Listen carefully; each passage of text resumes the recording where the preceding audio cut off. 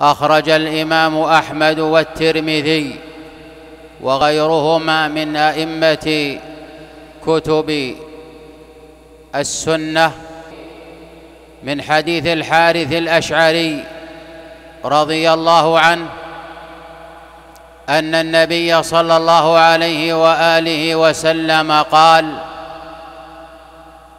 إن الله أمر يحيى عليه السلام بخمس كلمات بأن يعمل بها وأن يأمر بني إسرائيل أن يعملوا بها.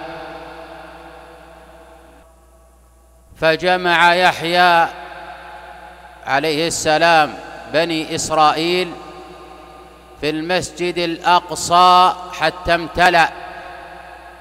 فحمد الله وأثنى عليه فوعظهم فقال إن الله أمرني بخمس كلمات أن أعمل بهن وأن آمركم أن تعملوا بهن أولهن أن تعبدوا الله ولا تشركوا به شيئا فإن مثل من أشرك بالله كمثل رجل اشترى عبدا من خالص ماله بذهب أو ورق يعني فضة فأسكنه داره وقال اعمل لي فجعل هذا العبد يعمل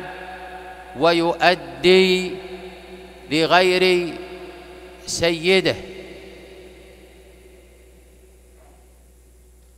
أيحب أحدكم أن يكون عبده كذلك؟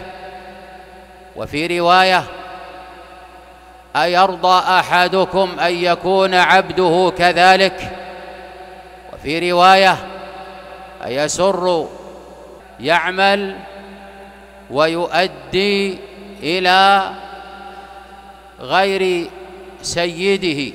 ثم قال فإن الله خلقكم ورزقكم فاعبدوه ولا تشركوا به شيئا. يعني من خلق ورزق هو الذي يعبد عز وجل.